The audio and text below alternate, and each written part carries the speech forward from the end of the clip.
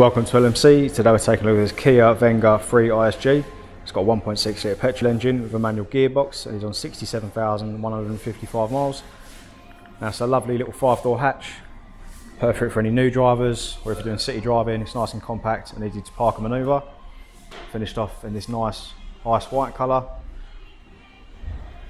Gunmetal and polished alloy wheels. Nice short front end, again making it easy to park. You've got a nice big blacked out grille with a chrome surround. Coming around the back of the car, you've got a slight tint on the side and rear glass. Nice big bright rear lights, as well as rear parking sensors and a camera. Again, making it easy to park and manoeuvre around town. Despite it being such a short car, you do get a nice big boot. Goes back quite far away and is very usable. Now checking out the interior, plenty of leg room. You got storage in the back of the two front seats as well as in the back end of the centre console. Nice half leather seats with this nice design on. Also got an armrest that folds down.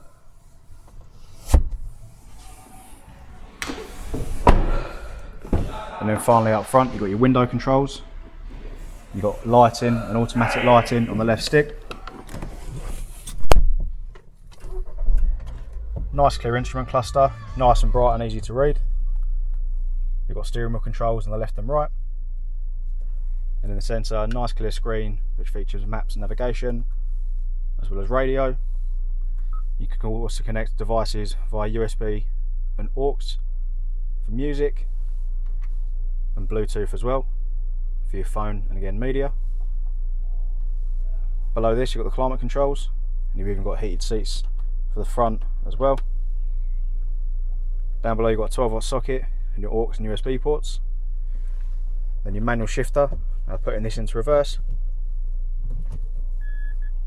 Brings up a nice clear reversing camera that I mentioned earlier. You've